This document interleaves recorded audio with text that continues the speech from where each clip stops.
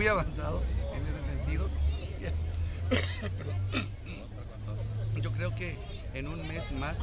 nos estarán entregando ya esas áreas para iniciar el programa de reubicación de las oficinas, o sea, sectorizar las oficinas y obviamente el equipamiento. Pero ahorita la parte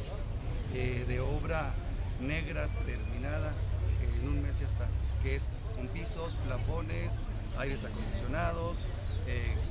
estaciones de luz y todo lo que de alguna manera permite al espacio dejarlo como espacio abierto, pero ya prácticamente terminado en esa, en esa área con pintura y ya paredes texturiadas.